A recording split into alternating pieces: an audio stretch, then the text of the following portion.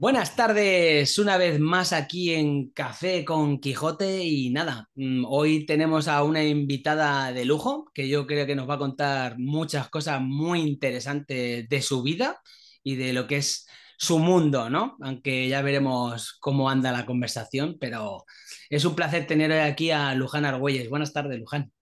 Hola, buenas tardes, ¿cómo estás? Encantada, ¿eh? Muy bien, muchas muchas gracias por estar aquí en mi canal, ¿vale? Yo creo que a mi audiencia le va a gustar muchísimo todo lo que nos vas a contar, que espero que sea muy interesante, que no tengo la menor duda, ¿vale? Eh, no sé si aquí habéis visto alguna vez alguna entrevista de las mías, pero yo mi gran pregunta que siempre hago a todos mis invitados es un poquito, eh, ¿quién es Luján Argüelles? Pero sobre todo, ¿de dónde viene? ¿Vale? Y, a dónde va? Uf, pues mira, um, Luján Argüelles es un ser humano eh, enfocado en, vivir feliz, eh, serena y, exprimiendo la vida.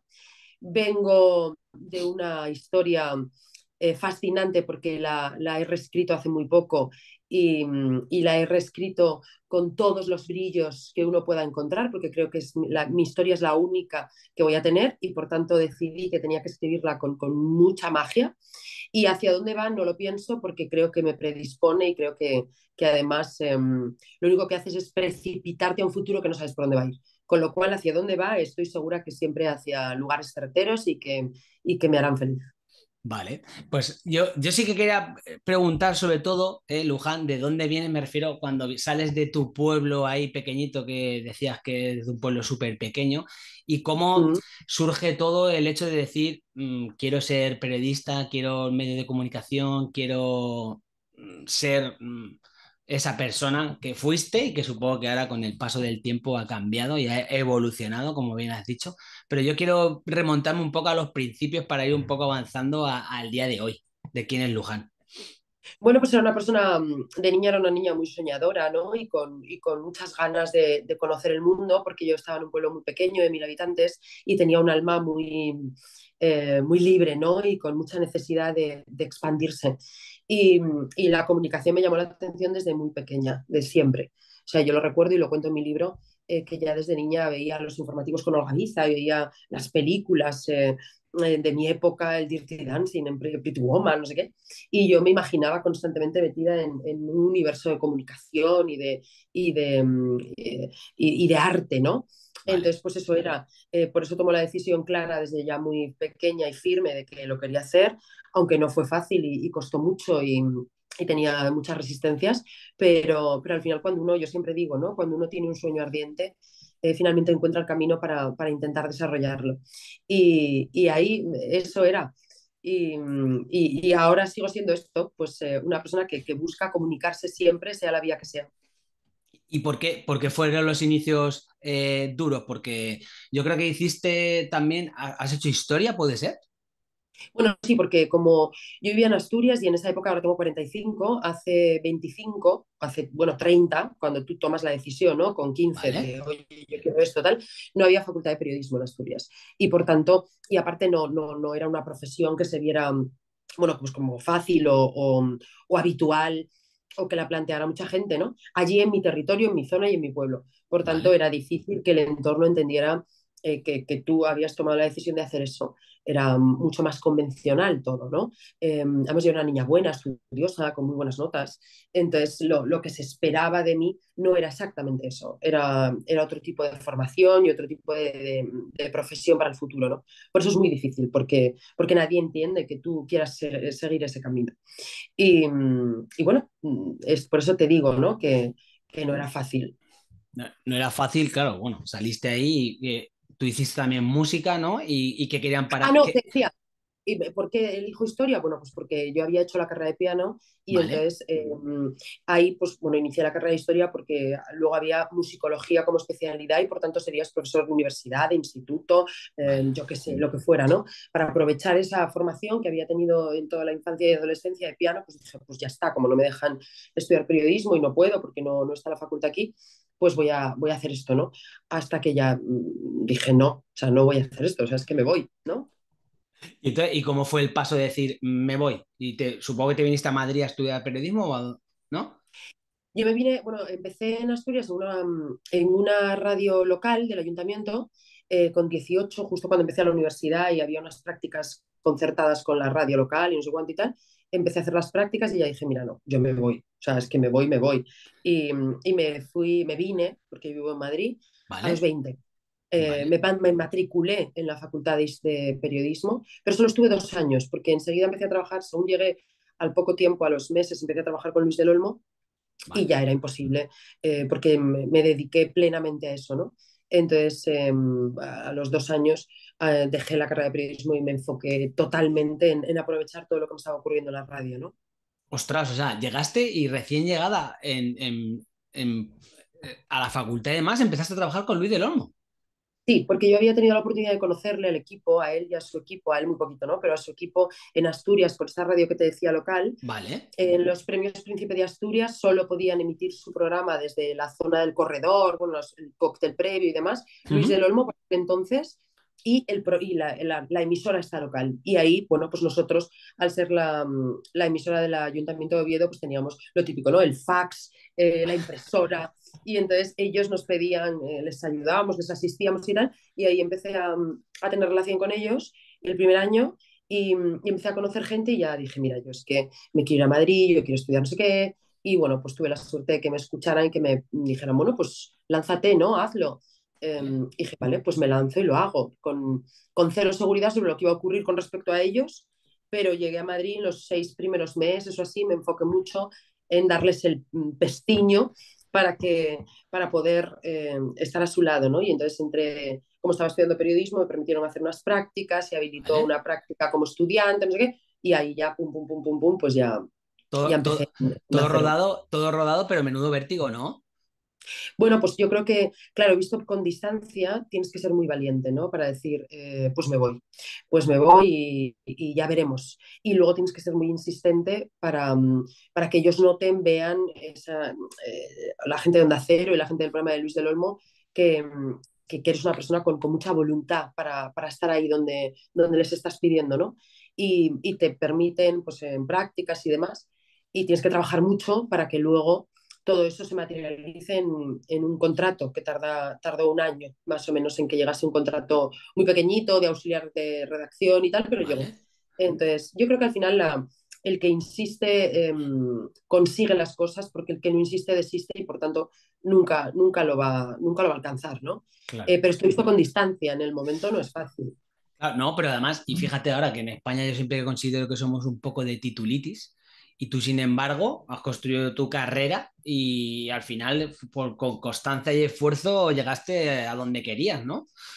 Bueno, en mi época había más titulitis aún que ahora, ¿eh? más todavía. Sí. Eh, por tanto, también era otra, otra batalla que tenías que enfrentar. El hecho de apostar por, eh, sí, la carrera está y ahí estoy matriculada y todo el rollo y voy y, y estuve dos años, pero yo apuesto por el trabajo diario, apuesto por aprender de los mejores, apuesto por esforzarme, por eh, pues esto tampoco se entendía mucho ¿no? en, en tu entorno familiar. Eh, y máxime cuando, cuando yo no era una persona que tuviese dificultades para el estudio, claro. en ningún caso. Yo vale. tenía matrículas de honor, estudiaba fenomenal, no había suspendido nunca, no sé qué. Entonces era, eh, bueno, pues raro todo lo que estaba haciendo. Pero claro, bueno. no, no, no, lo entendían, ¿no? Era un poco así como decir, venga, voy a perseguir mi sueño y, y mm. yo creo que a lo mejor era para protegerte, ¿no? ¿O no? Hombre, sin duda, yo nunca he cuestionado, bueno, sí, tienes momentos en los que cuestionas todo, ¿no? Pero, pero mm, la vida pasa hoy para entenderla mañana, por eso hoy la entiendo y sé que, que lo único que se buscaba era protegerme y, y, hacerme entender que mi futuro era mucho más seguro y mejor si seguía determinados caminos, ¿no? Claro, vale, vale. Y entonces empiezas en la radio con Luis del Olmo y luego cómo empiezas a, a meterte ahí en ese mundo y luego salta a la televisión. Bueno, en el libro también lo cuento. Eh, al año y pico, pues eh, yo vivía cerca de Onda Cero y surge una oportunidad para estar en un programa eh, y deciden que, bueno, pues, lo, lo, voy a dejar en alto para que la gente se lea el libro. Entonces, eh, deciden, claro, deciden que, que, pues, que era una persona idónea porque, porque trabajaba mucho, muchas horas, estaba muy volcada y tal, y además vivía muy cerquita de la radio y entonces eso permitía que pudiera desarrollar esa tarea con, con mayor fluidez, ¿no? Que cualquier otro, otra persona que fueran a fichar y les salía muy baratita. Les salía baratita. Me hicieron un contrato de auxiliar, de auxiliar de redacción, ¿no? Y ahí surge el primer, el primer contacto y contrato bueno, contacto no, primer contrato. Y a partir de ahí, pues muchísimo, muchísimo trabajo. La verdad es que eh, esa es otra de las cosas que yo antes no verbalizaba, porque, porque en España eh, o en la sociedad en general, pero hablemos de España, que es nuestro país, em, no, no es bien entendido cuando, cuando hablas de determinadas cosas como, oiga, no, yo me he esforzado mucho, parece que eres un petulante o, un prepotente, ¿no? Tienes que ser tímido en todo este tipo de declaraciones. Ahora ya no, ahora he entendido que no, no, me importa lo que piensen los demás, esa es la gran realidad. La gran realidad es que yo he trabajado muchísimo, muchísimo. Entonces, pues ahí eh, van abriéndose las oportunidades. Vale. No, no, pero entiendo que, pero tú alguna, en alguna ocasión he, leído o escuchado que tú de por sí ya eres una persona tímida, ¿no? Siempre he sido muy tímida, pero yo creo que sigo siéndolo, ¿eh? Eh, ¿eh? pero bueno, la timidez se supera y creo además que tengo la sensación por las conversaciones que mantengo con amigos, cantantes, actores, no sé qué, que mm, el que tiene un alma un poco artística, un tanto artística, Em, es tímido porque, porque siente miedo a la exposición. Y, y, entonces se encierra, ¿no? Entonces, quizá en vez de hablar de timidez, podríamos hablar de, de, de, miedo. Yo creo que, que, esto es lo que te ocurre, ¿no? Vivimos temerosos porque, porque el arte no siempre es bien entendido, siempre suele ser juzgado. Y ante, ante un, un juicio, el ser humano tiende a pegarse, tiende a, a encerrarse. Claro. Bueno, pero tú, por ejemplo, eh, yo, vamos, yo era súper fan de Granjero Busca Esposa y demás de, de, aquella época y tú te comías la cámara. O sea, te transformabas y tal, y es, es el foco y tú te transformas, ¿no? Sí, no, no, eso sí es así. O sea, yo estoy en un plato de televisión y ya el mundo se terminó. O sea, ya el mundo se paró, se apagó, ya me da todo igual, ya ¡buah! Pero en mi, pero porque es tu medio, porque al final yo creo que todos tenemos un talento natural, em, todos tenemos una leyenda personal que cumplir, todos, todos hemos venido a algo a este mundo, ¿no? Entonces, si lo encuentras, ahí es cuando se produce eso, ¿no? Es como, todo da igual, o sea, ya estoy aquí, ¿no? Entonces, eh, por ejemplo, en pandemia yo lo recuerdo, em, mi situación personal, emocional era muy, muy crítica, me sentía muy devastada, ¿no? Y fui a grabar un programa con, con Santi Millán que es gran amigo, pero que en mi situación no, yo no estaba mm, en on, estaba hiper en off. Vale. Pero llegas, a ese plato y dices, es que mm, se me olvidó todo. O sea, ese es un momento muy que yo siempre recordaré en, en mi mindset, ¿no? Porque, porque luego lo pensé a posteriori, digo, ostras, ¿cómo, ¿cómo son las cosas, ¿no? Cómo te olvidas de todo cuando estás ahí en, en, en vibrando muy alto con algo. Claro, pero, pero fíjate, entonces, eh, ¿para ti la televisión ha sido como un medio de evadirte de tu realidad? No, no, no, no, no. Es un medio de expresión. De expresión. No, no, no. De expresión. O sea, porque, porque mm, al final no te evades. O sea, tú estás en la tele, en mi caso, estoy trabajando. Entonces voy, me, me expreso, vibro, eh, me siento, fluyo y luego vuelvo a mi vida, ¿no?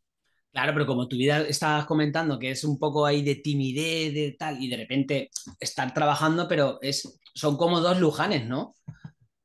Sí, bueno, em, eh, a ver, pero es que al final, em, siendo verdad, o sea, yo creo que si hay una de las cosas que yo quiero ser, eh, porque si no, no, me sentiría bien, no, no lo entiendo de otra manera, es cuando trabajo soy muy verdad, o sea, no, no hay un papel, no, no me gusta, no, no permito, porque en el fondo tengo que reconocer cómo soy, ¿no? Cómo me comporto. Soy una persona contundente y con mucha determinación, con lo cual tampoco permitiría que me hagan, que, que, interprete un papel, ¿no? Entonces soy muy verdad, pero, pero mm, eh, estoy haciendo un entretenimiento, estoy trabajando. Entonces, cómo yo me sienta en ese momento va a dar igual. Lo importante es cómo se, cuáles son las emociones que hay en un plató, las de un concursante, las de una persona que está viviendo un date en una historia de amor. O sea, mm, digamos que todos somos todo.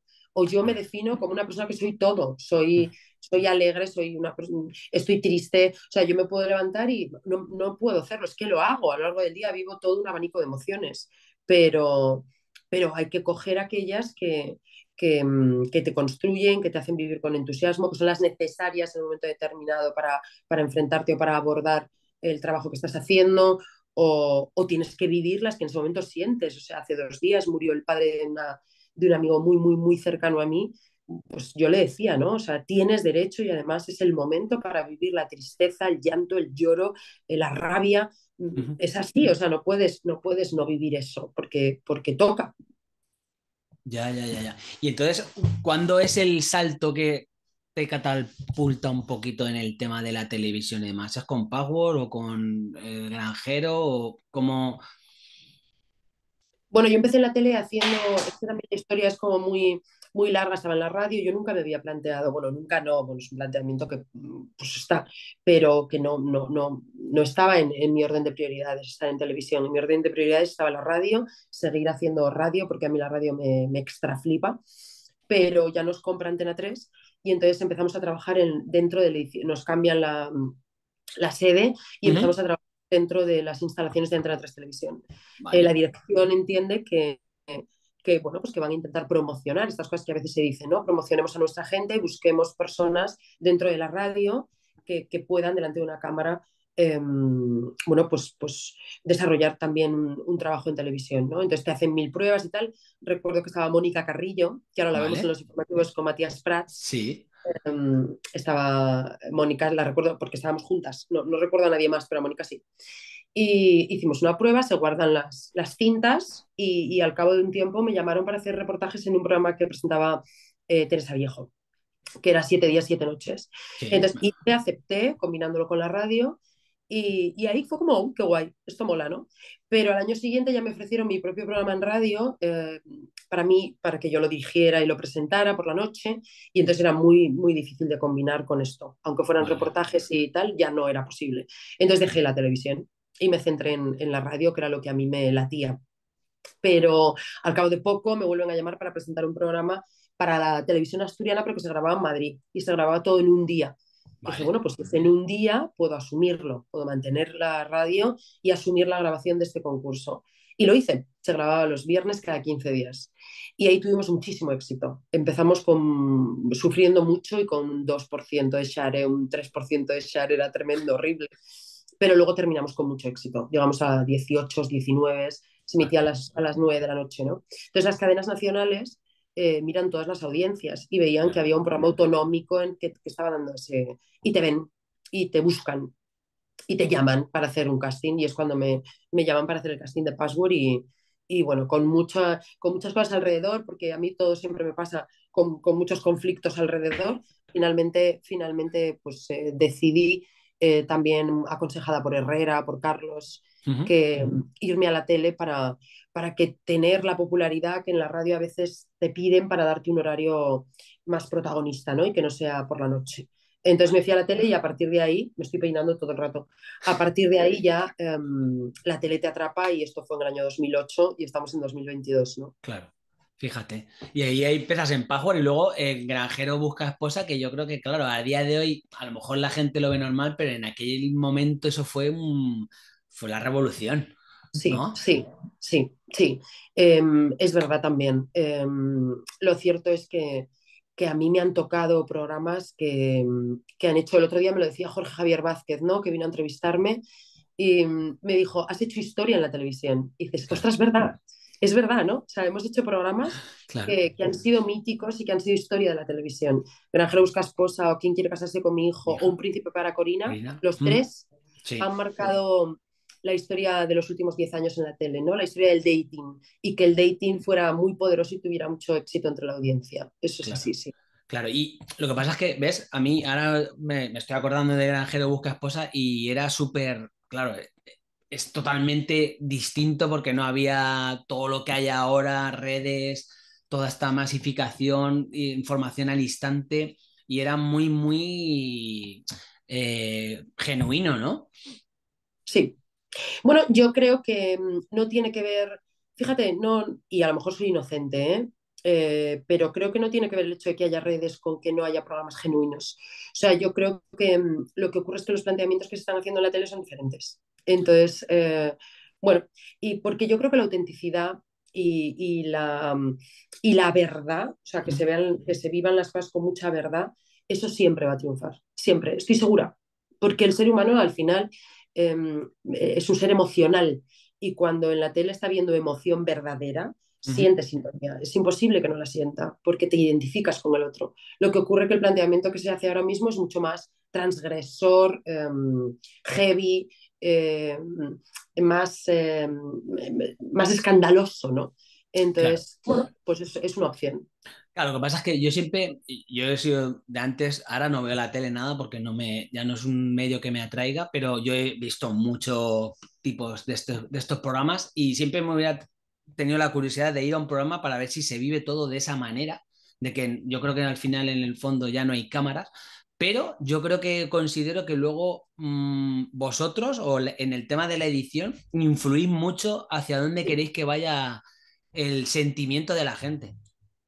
Puede ser el, sentimiento, el, sentimiento, no lo consigues modificar. Bueno, no, bueno, perdón. Que estaba después. Claro, no, no, el sentimiento, sino el fluir, me refiero, de que te caiga una persona mejor, ahora peor, ahora, o sea, con las, porque yo creo que con la edición de vosotros tenéis miles de imágenes y sacáis las que queréis. Entonces, es un poco ahí. lo, que, lo que hace la edición y yo voy a hablar de nuestro caso, porque, porque ahí sí que son mis compañeros y porque sé cómo trabajan. En nuestro caso, eh, hay una construcción del relato, eh, hay que relatar la historia. Y entonces, em, porque tú grabas en bruto y luego ese bruto tú no lo puedes emitir, porque, porque cualquier, cualquier em, pero no por nada, sino porque una, una, un momento de elección, de cuando están eligiendo con quién se quedan o con quién no, pues igual estamos grabando dos horas entonces, claro, nos apagarían la tele, ¿no? Tú luego tienes que editar y construir el relato. Entonces, nosotros al editar y construir el relato siempre se busca la parodia, el humor, el buen rollo, que la gente se divierta, ¿vale? Entonces tú vas editando en base a esas premisas, que la gente se divierta y que haya un buen rollo y que, y que lo estamos pasando bien, eh, pero siempre respetando un espíritu, eh, que es el, el, espíritu del buen rollo, ¿vale? Eh, si alguien te cae mal, Mm, ten por seguro que yo no, no, no, yo o Tomio, Mario Tonicho, que era la persona con la que yo he trabajado casi siempre en realización, eh, Mario está respetando, o Tomio, eh, Tomio está respetando al personaje, la esencia del personaje, eh, pero tiene que editar. Si te cae mal, te cae mal porque te caería mal aunque te emita el bruto. De hecho, hay muchas cosas. Mira, en el último, a quien le gusta mi follower, que emitió Netflix, mm, yo recuerdo una grabación de, de eliminación en la que nadie entendía nada porque yo de repente digo, este chico era un candidato de, una de las concursantes, digo, este chico está mintiendo. O sea, yo lo sabía, este chico está mintiendo. O sea, este chico está jugando con los sentimientos de la concursante. O sea, claramente, porque ya llevo 14 años en esto. O sea, no, no, yo les miro y ya sé lo que hay, pero no por jóvenes ni por... No, no, no, lo sé. Eh, y, yo me, enfrasqué con el concursante porque no me parece justo que alguien esté jugando con el sentimiento de otro, ¿no? Y, me, me, encisqué mucho con él. Eh, no entiendo tu actitud, no entiendo lo que está ocurriendo, quiero que me expliques qué está pasando, eh, cuéntame por qué no sé qué, dime tal. O sea, yo, yo les, le acorralé. O sea, la palabra es acorralarle porque estaba segura de que estaba mintiendo. Hasta, hasta el límite que, bueno, por el pinganillo yo escucho, va, Luján, que lo deje ya, ¿no? ¿Qué hace? Eh, que también me cabreo, porque digo, no, no sé lo que hago. Cuando estoy en el plató sé lo que hago, o sea, sé por qué estoy eh, eh, generando esta situación. Hay algo que no, hay algo que no, no, no me late y la concursante no se merece esto, ¿no? Al cabo de tres capítulos, el, el, este, este personaje al que admiro, quiero y, tengo una buenísima relación con él, ¿no? Se descubre que estaba ya manteniendo una relación con otra candidata del programa. Entonces, eh, luego todo se relata y se cuenta, eh, porque, porque claro, tenemos que ir contando eso al espectador. Y en cambio, todo este momento tan duro en el que, en el, que el tipo queda muy mal, porque, porque yo, le, yo le estoy acorralando y es, no, no, no, no queda mal, todo esto no se, no se ha editado ni se ha emitido. Se ha contado efectivamente que, que al final estaba con otra concursante y que, y que no estaba siendo honesto con la concursante principal, pero, entonces estas cosas pasan, mm, con lo cual el espectador a veces tiene una opinión muy alegre de lo que está ocurriendo de verdad. Yo creo que en nuestro caso, en el caso de los programas que he presentado yo y el equipo con el que yo he trabajado, em, diría alto y claro y con, y con seguridad que se respeta siempre la trama. Claro, no, no, sí, sí, la trama seguro que está guay, y, pero mira, me encanta que me eh, hagas mención al de a quien le gusta a mi follower, porque yo he visto el principio, he visto los tres primeros y no veo.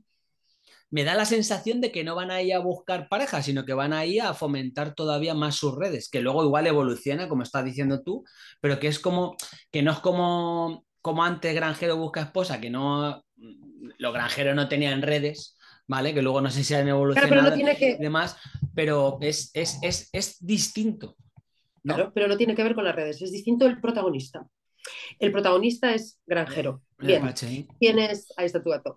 ¿Quiénes son los granjeros? Pues los granjeros eran los protagonistas de Granjero Busca Esposa, eran señores que vivían en ámbitos rurales, muy pequeños, con un carne de baile ya mm, que, pues todo lo que había ocurrido en su comarca o todas las mujeres que estaban en la comarca pues ya o estaban casadas o, se habían ido o tal, por tanto no, no tenían la posibilidad de encontrar una pareja con, con facilidad ¿vale? Y por tanto eran personas muy vírgenes y, bueno, pues, pues abiertas a una experiencia eh, y tenían otra edad también, ¿eh? eran eh, personas con otra edad.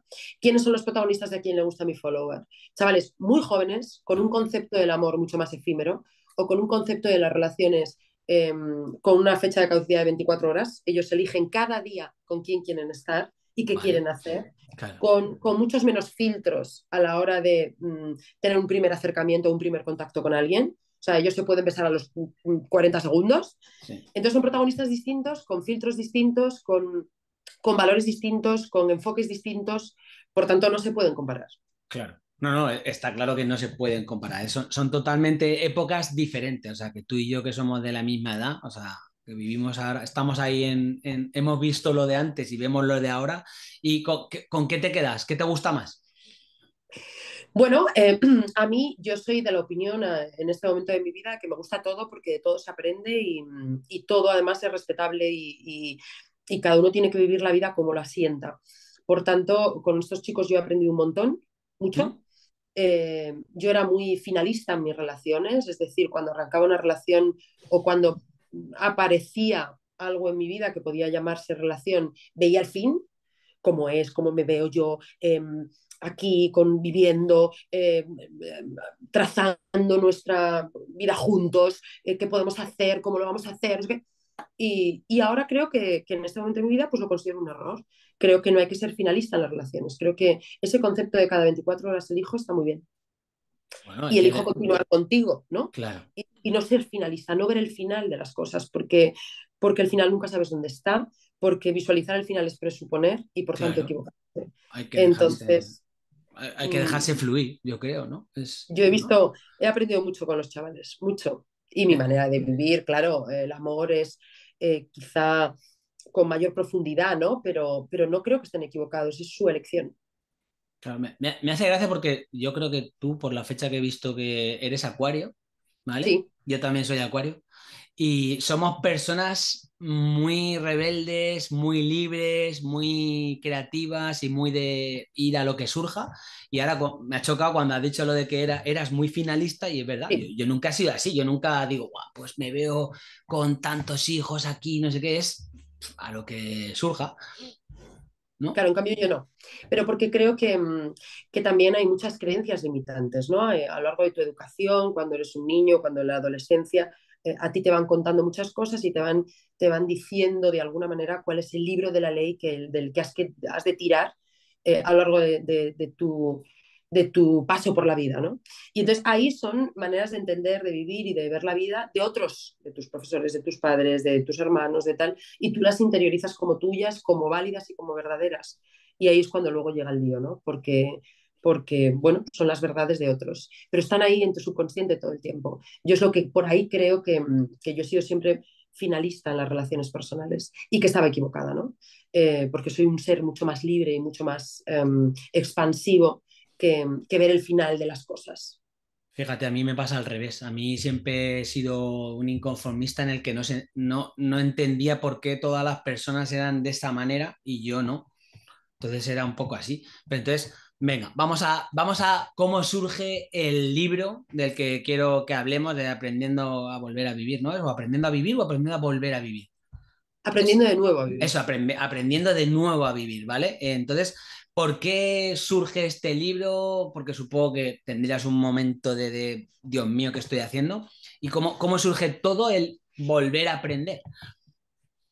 Bueno, porque, porque en el fondo, insisto en esta parte, ¿no? Yo, yo creo que, que soy un alma muy libre, ¿no? Y cuando las cosas no me encajan, eh, pues hasta que no tengo respuestas o cosas que, que me resuenen, no, no, no paro, no, no me siento a gusto, no, no, no.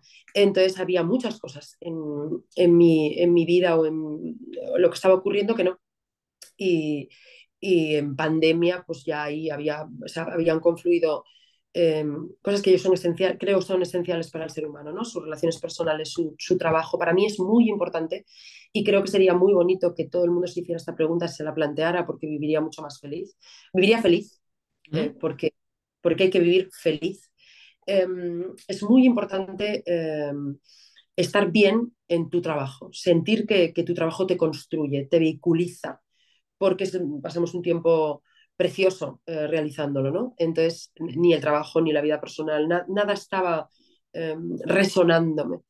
Y, y, bueno, pues arranqué un proceso de crecimiento personal fascinante en el que, en el que me di cuenta efectivamente todas esas creencias limitantes, de todas esas mentiras eh, que había asumido como válidas, pero que me hacían sentirme mal porque no eran las mías.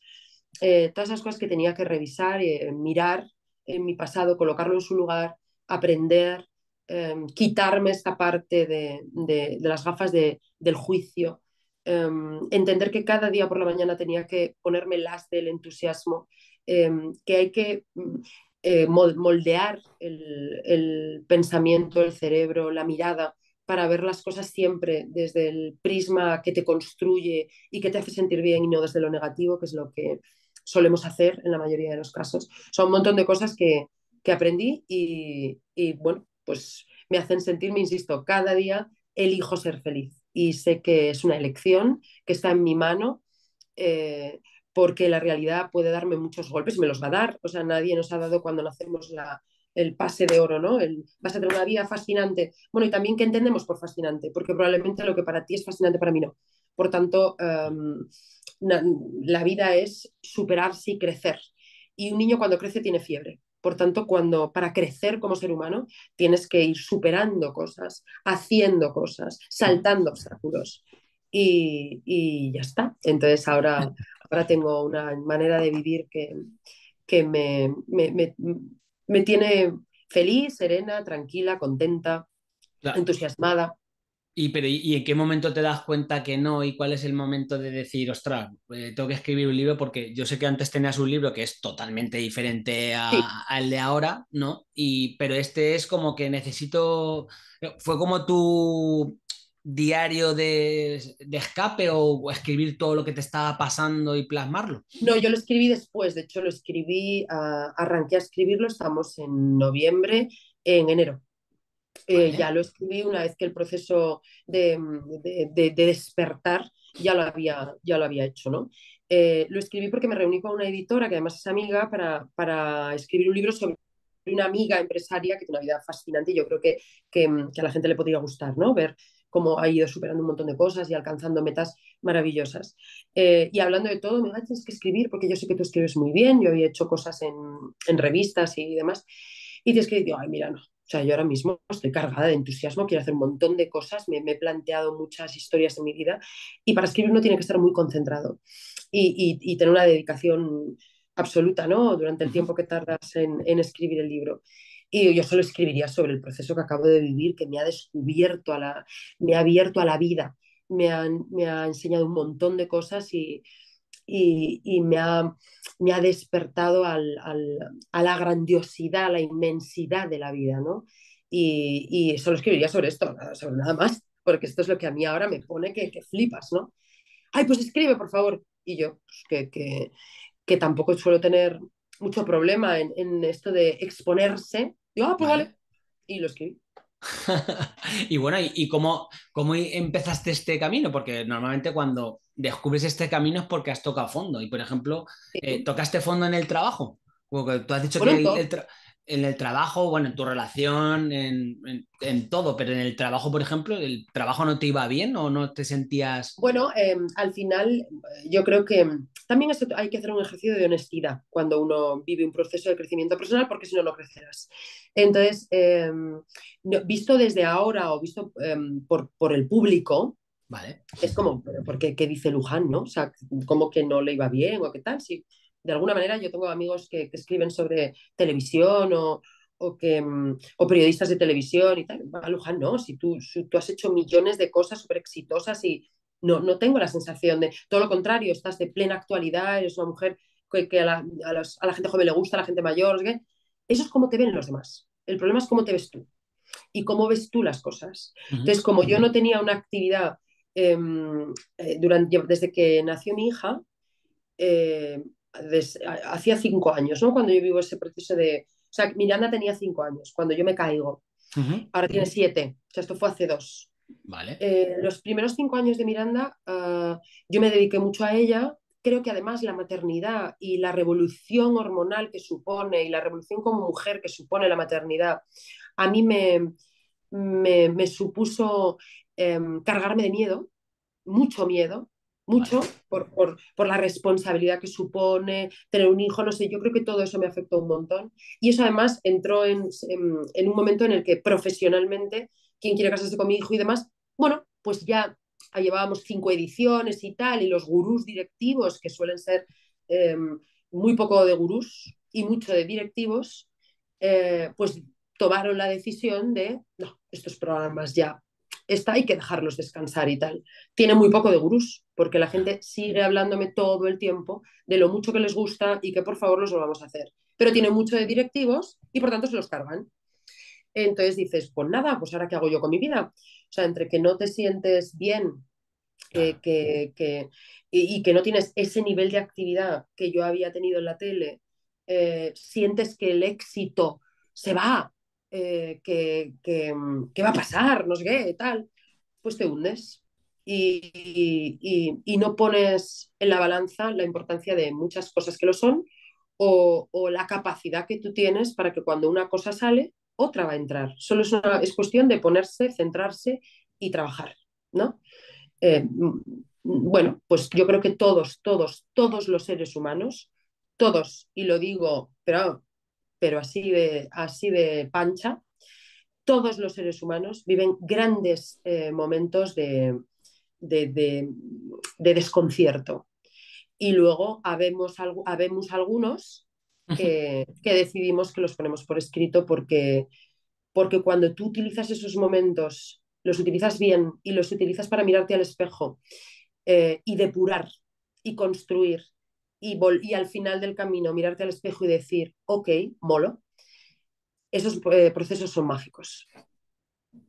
No, no, está, está claro, pero es verdad que siempre va tienes que tocar fondo ¿no? en algún momento y, resurgir o, o sentarte eh, a, analizarte y ser honesto, ¿no? Como dices tú, ¿no? Porque eso es una cosa que yo creo que sí que la gente no tiene miedo o tiene miedo de pedir ayuda, de ir al psicólogo, de ir a un coach, ¿no? Bueno, cualquier terapia que le valga bien, ¿no? Porque tú, tú sí que fuiste a un coach, ¿no? O a terapia sí. o a coach. Sí, coach.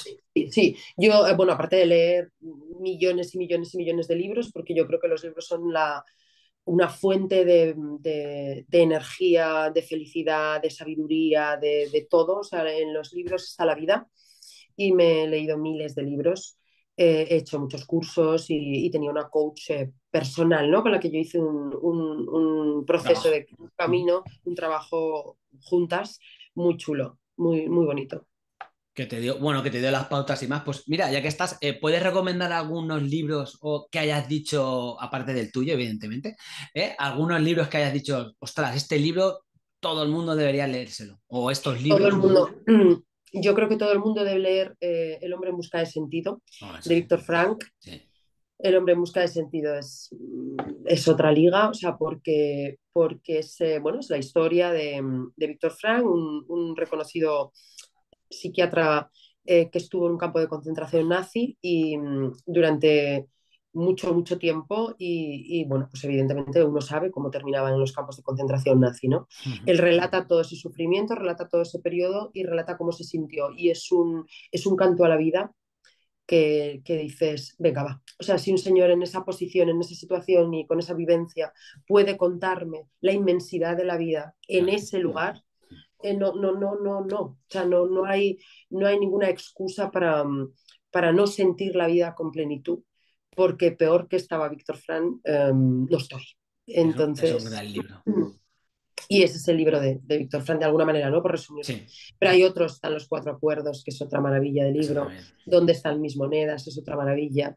Hay muchos, hay muchos. Hay, uno tiene que arrancar el camino y luego ir viendo qué es los que más le, le, le- hacen despertar, ¿no?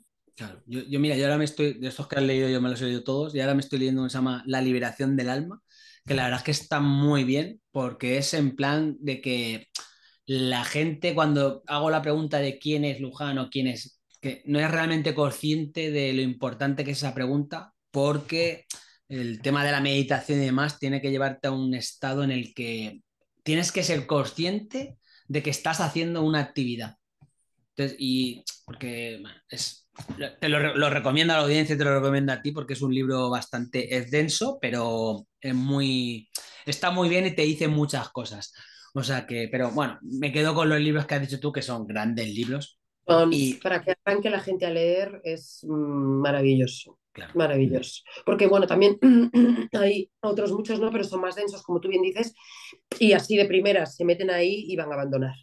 Claro, Eh, bueno. En cambio, cualquiera de estos son muy facilitos y el poder de la hora es maravilloso, pero Sí, es mucho el- claro.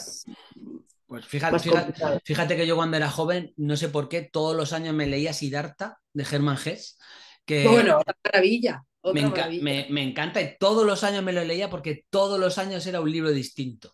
O sea, era, eh, eh, o sea, no- nunca, nunca, ese libro nunca es igual, y es finito y demás, pero ese libro nunca es igual. Entonces dices, ostras, qué, qué- qué maravilla de libro de que lo vas leyendo y, y no, y- es siempre, es siempre diferente, o sea, entonces eso sí que me, me flipa.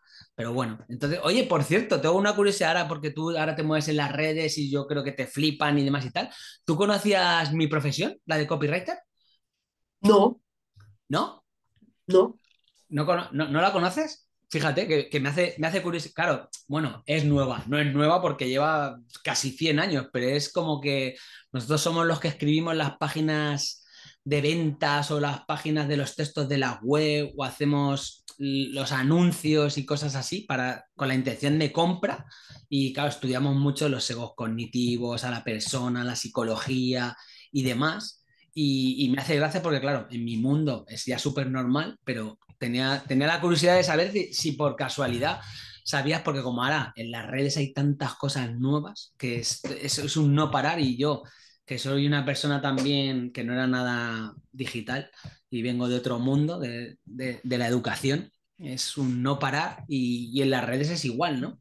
Tú, tú siempre estás ahora aprendiendo nuevas cosas, nuevas historias y demás, ¿te gusta? ¿Te, te- Bueno, claro, yo creo que la vida es aprendizaje constante, ¿no? Porque si no, te anclas, te paras, te, te acomodas y ahí sí que ya tienes un problema.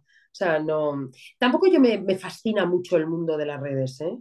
Eh, hay que estar, hay que aprendérselo porque, porque hemos entrado de lleno en la era digital Claro. y es, una- es un medio de comunicación eh, pues que muy, muy utilizado, sobre todo por las generaciones que vienen. Entonces hay que, hay que estar y ver y ver que cómo, cómo fluye todo eso, ¿no? Pero no, no, yo soy más de cogerme un libro y encerrarme y leer yo sola. No, no, yo- Pero Yo, yo también, ¿eh? Lo que pasa es que, mira, ahora me acaba de venir esta pregunta a, a la cabeza. ¿Crees que el periodismo de entretenimiento mm, va a cambiar o va a tender a desaparecer? mira, yo es que sabes lo que ocurre, Eh, que esta- estas verdades tan absolutas o estas premoniciones así, tan tal, la radio lleva desapareciendo desde que yo tengo uso de razón. Y ahí tenemos la radio, ¿no? Y si no tenemos versiones, como son los podcasts, que es una versión de, sí. de la radio. Entonces, no, yo no creo que nada de estas ¿No? cosas. A ver, no sé si mi hija o los hijos de mi hija lo verán, pero claro, es que pues ahí ya sería, me forraría viva haciendo, haciendo eh, vaticinios sobre lo que va a ser el mundo dentro de 100 años, ¿no? Pero no tengo idea, yo no lo creo en un, en un futuro cercano. Yo creo que tú y yo no lo vamos a ver, que tú y yo vamos a seguir viendo entretenimiento en televisión. Sí, ostras, yo Habrá creo. temáticas, habrá temáticas, pero, pero sí que lo creo. Ah, pero fíjate, yo creo que yo sí que vamos a ir viendo ya cosas, grandes cambios, ¿eh? Porque el nuevo entretenimiento que está en Twitch es, no sé, es la, la gente joven, evidentemente el otro público, el del Sálvame y demás, es un público muy mayor que no se va a meter en Twitch, pero claro, las nuevas generaciones, pero puede ser, puede ser interesante y demás. Pues Luján. Bueno, podrá moldearse, pero también es cierto, mira, yo el otro día hablaba con un tipo sí. eh, que fue director general de Publi España durante muchísimos años, me dijo algo que me hizo reflexionar y pensé, pues hostias, igual tiene razón, ¿no? Eh, me decía, a ver, Luján, lo que ocurre es que cuando nosotros éramos jóvenes, eh, bueno, él tiene 10 años más que yo y el tipo dijo nosotros, estoy cayendo en la cuenta. Pero bueno, pero bueno, vamos a dejarlo así, vamos a dejarlo así. Cuando nosotros éramos jóvenes no teníamos dispositivos, eh, dispositivos digitales claro. en los que consumir ningún tipo de entretenimiento, ¿no? Nos sentábamos a ver la tele, la el Falcon Crest, el Falcon Crest es lo que pusiera tu padre, porque el mando era de tu padre a, a partir de una hora y en otra hora era de tu madre. Entonces, pues ya está. Y nos entreteníamos en nuestros rollos, en nuestras cosas, en nuestras movidas, ¿no? Sí. Eh, ahora los chavales tienen dispositivos digitales y por tanto su tiempo de ocio lo pasan consumiendo contenido audiovisual en el dispositivo digital. Pero bien, cuando llegan a una determinada edad, y si yo lo sé por mis hijos, ya tienen su televisión en su casa y ya ven televisión. Ya no se ponen a ver eh, Twitch o Trash o Flix o Flux. Oye, pues puede ser, ¿no? Porque claro, nosotros si hubiésemos tenido en nuestra época un ordenador en el que ver a nuestros iguales, a nuestros compañeros del instituto haciendo sus vainas, pues seguramente nos hubiéramos conectado, pero no lo teníamos. Claro. Eh, entonces, y, pero esa gente va a cumplir años, va a tener 30, va a tener 40, y ten por seguro, tenlo por seguro, que van a tener las mismas inquietudes, las mismas emociones, las, los mismos miedos, la, la misma necesidad de, de encontrarse con su ser que tenemos nosotros, los mismos. Con lo cual me cuesta pensar que, que, todo se va a acabar y va a ser diferente. Creo que se moldeará y que veremos otras cosas. Bueno, pues ya me quedo con ese vaticinio, ¿eh? ¿Vale? Bueno, tampoco, a ver, yo lo, creo, yo creo, creo. Bueno, a, no a, ver, la experta, la experta eres tú, ¿eh? O sea que entonces está claro que el ser humano lleva mil años de una manera y mañana no va a cambiar el ser humano, ni el cerebro, ni su pensamiento reptiliano o el que sea. O sea nos regimos por emociones, queramos o no. Entonces, no, no, no, va a ser mañana, será dentro de mucho, pero mira, me quedo con eso. Y nada, yo creo que ya llevamos casi una horita, Luján. Eh, me lo he pasado genial. Estaría hablando contigo toda, todo el día, pero entiendo que eres una persona muy ocupada y bastante tiempo te he robado, así que... Nada, en absoluto, solo que... Y no soy, ni nadie está tan ocupado. Lo que pasa es que... pero ni yo tampoco, lo que pasa es que yo me, me meto en todos los fregados porque me bueno. divierte. Entonces, no es que esté tan ocupada como para no tener. Eh, lo que pasa es que me meto en tantos fregados que ahora voy a darle paso al siguiente fregado. Bueno, claro, pero eso, pero eso porque eres una mente curiosa, que eso es lo que me gusta y es lo que siempre es el espíritu cuando te decía de redes o lo que sea, siempre es aprender, curiosear, evolucionar y es, es, muy, muy entretenido. Entonces, nada, espero que a la audiencia le haya cantado esta entrevista, que estoy convencido de que sí. Y muchísimas gracias por estar aquí. Y nada, espero leerte, verte y muchas más cosas. Que sigamos en contacto, ¿vale? Sí, eso por supuesto. Pues venga, un saludo y un abrazo, ¿eh? Chao. Gracias, gracias. Mm.